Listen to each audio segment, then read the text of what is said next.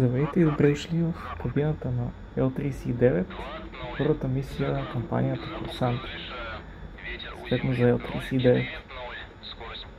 Една от по-старите кампании за DCS. Ще видим как ще се справим с нея. Сме на първата мисия. Трябва да изпълним полет по кръга, височина 200 метра. Като ще бъдем оценявани от виртуалния ни инструктор.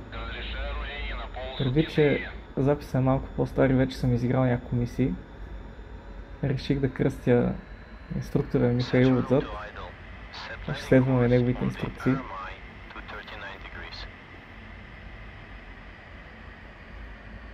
Е, тук нас да сложим курса за кацане, военно 3.9. Това правим в момента. Малко преди това включихме и светлините за ролиране. Естествено ни напомня в коя посока да ролираме. żeby.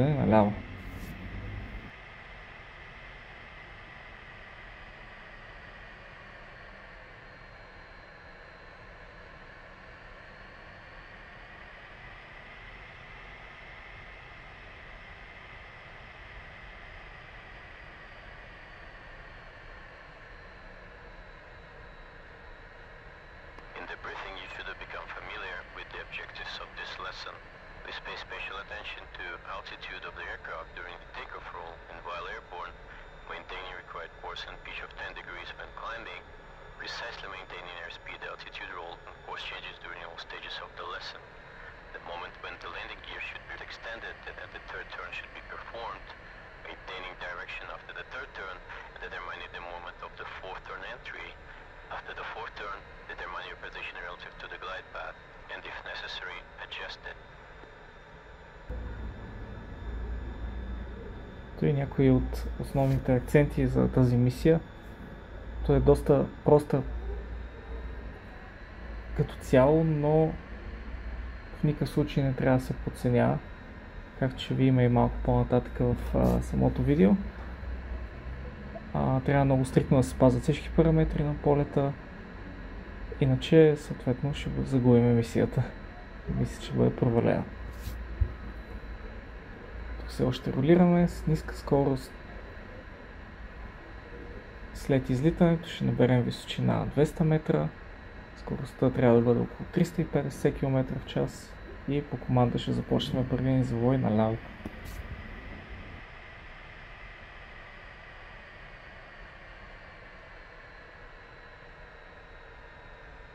Check.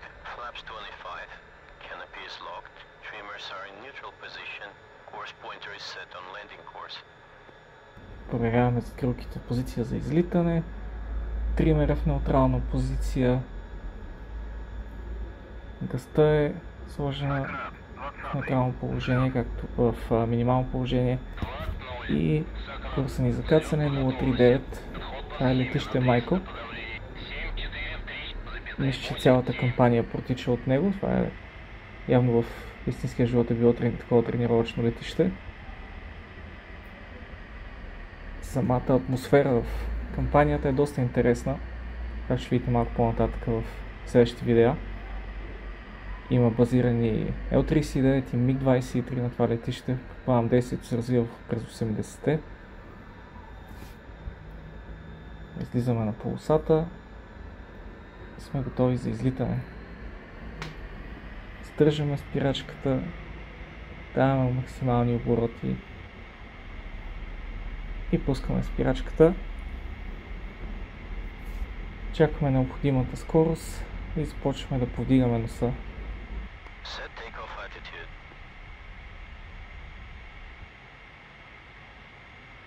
Самата кампания е доста интересна предвид това, че задачите, които се изпълняват в нея са доста прости, но ако всичко се спазва както е по параметри, както са базирани на истински мисии, става доста, доста по-трудно, airspeed отколкото 350. Flying аз също доста я подцених в началото.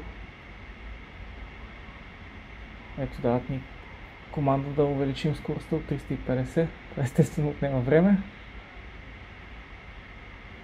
Чакаме височината да стигне 200. Altitude 200. Скоростомера ни е горе в ляво, в таблото под него е висотомера. Виждаме, че стрелката е, голямата стрелка е на 2, в момента показва 200. Turn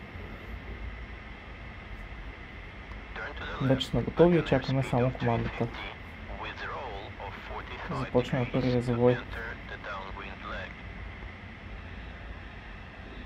Крена, който трябва да спазваме е 45 градуса. Това има известни трудности при този завой, тъй като височината то иска да се качи, то иска да се свали. Трябва леко с оборотите да регулираме с педалите също, за да запазим тези параметри добри стоености.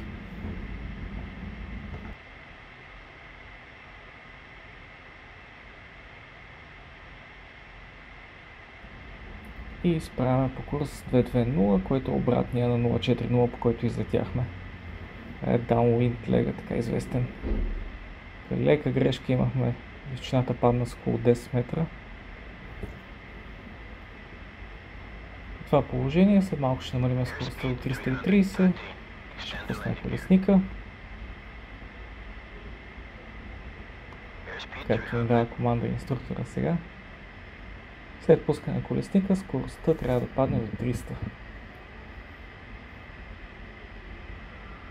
When the arrow Как is се случва, at да видите стрелката за това. with 45 roll at angle. The landing course pointer will point to a value of 30 on the external scale of RMI.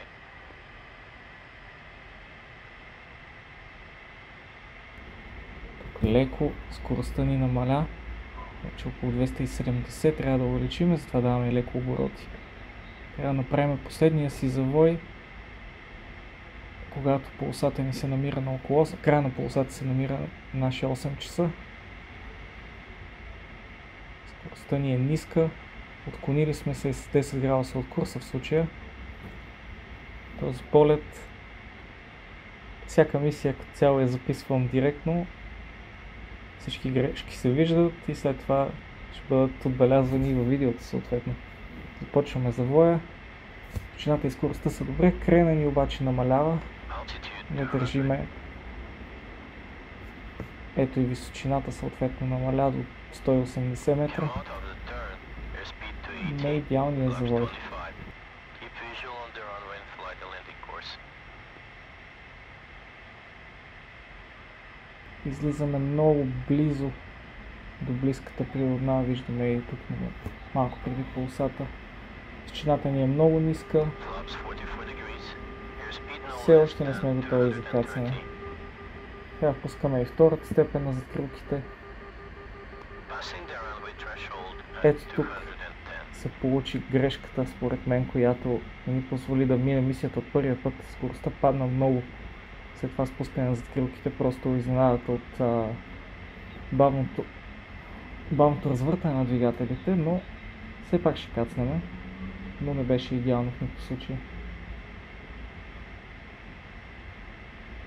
И самото кацане много лек вятър има. Лека корекция с педалите. И допираме с около 170 км в час. Evaluation attempt. Repeat the lesson. Flap 25 degrees maximum RPM. Set takeoff Това не беше изненадващо. Ето и командата да повторим упражнението. Включваме закрилките на излитане, пълни обороти и излитане отново. Държиме тангаж от 10 градуса в момента, докато наберем 200 метра височина.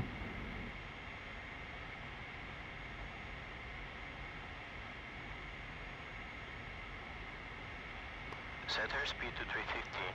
Flying altitude of 200.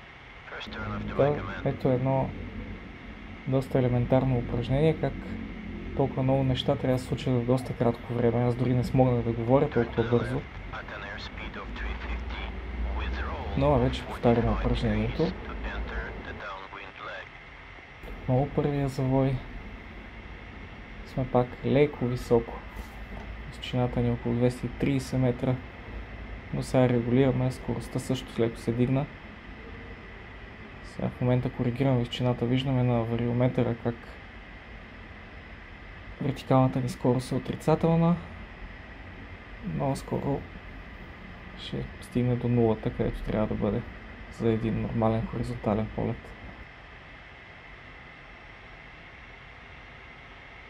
Скоростта ни падна малко, затова даваме обороти. Altitude 200. Отново грешка за височината пак. Михаил не е толерантен днес. Вземи 20 метра, трябва за бележка. Landing gear.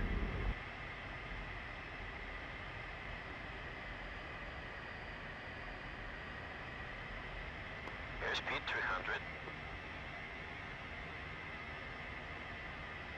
Този път скоростта ни е по-добре, по-висока от преди. threshold is at your 8 o'clock, turn to the left with 45 roll at angle. The landing course pointer Не сме се отклонили от курса 30 също. В момента спазваме добре посоката на движение. Че ли от първия завой излязохме малко по-широко, цяло самия полет изглежда доста по-добре. Прилича на схемите от брифинга. Та ни е идеална, курса ни е добре, височината. И единствено очакваме да видим беше най-добрият момент за завоя. Започваме сега.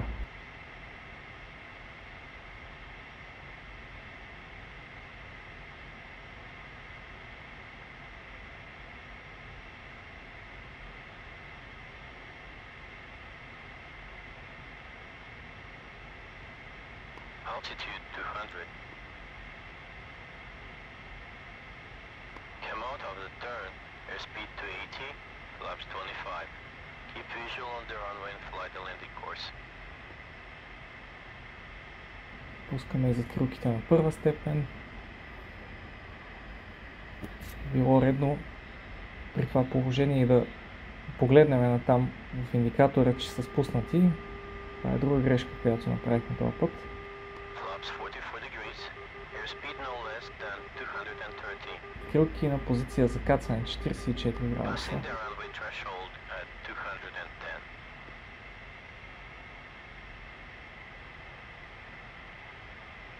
210. Доста по-плавно спускане този път.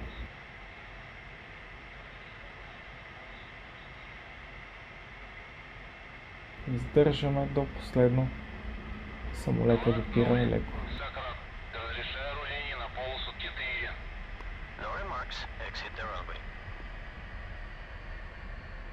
И успяхме този път. Тази мисия е успешна. И се ни остава да напуснем полосата, да дигнем закрилките, да изключим фара и да паркираме самолета.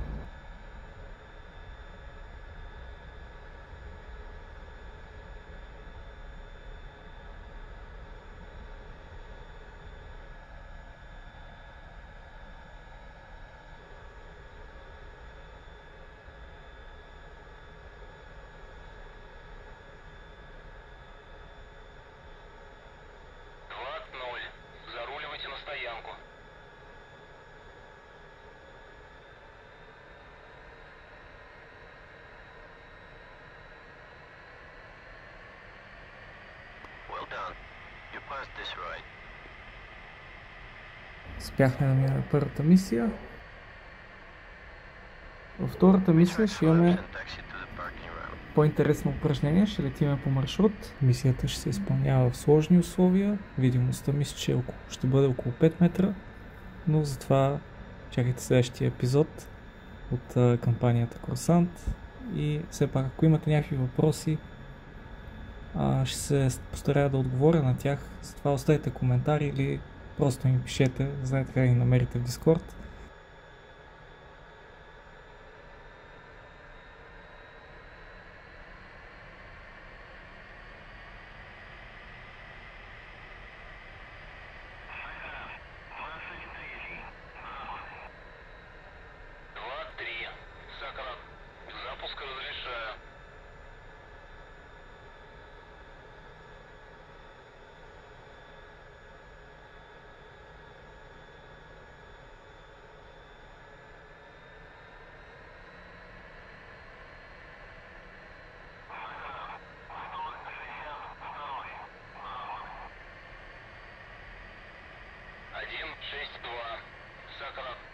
Пропуск разрешаю.